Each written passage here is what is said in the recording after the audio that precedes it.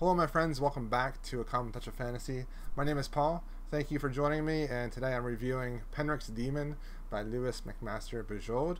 I listened to this on audiobook and really enjoyed this a lot. This is my first Bujold experience, and I really liked it.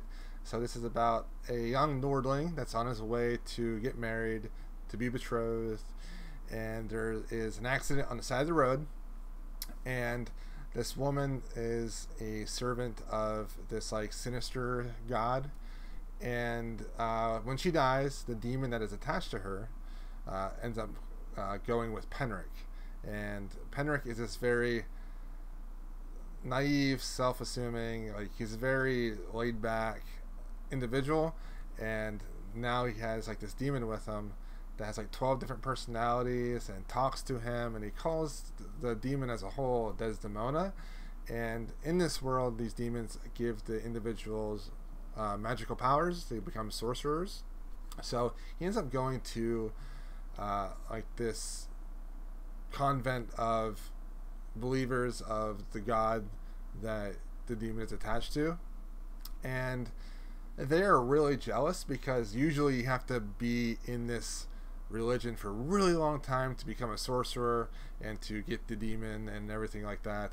But he just got it randomly, and he seems to be progressing really well with first talking to the demon and then like using magical powers.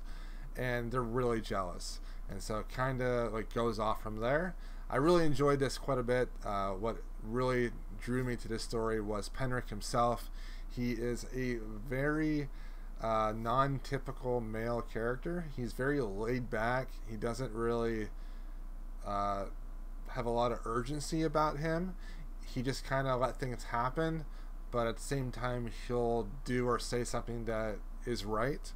Uh, because of his character, this is a very light, fun story, and he is basically just having a good time and not really worrying or caring about the fact that there's now a demon attached to him.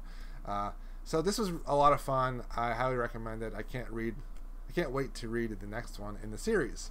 Uh, thanks for watching. I'll see you guys next time. Don't forget to follow me on Twitter, uh, Instagram, and Goodreads, and follow my website as well at commontouchoffantasy.com. Thank you.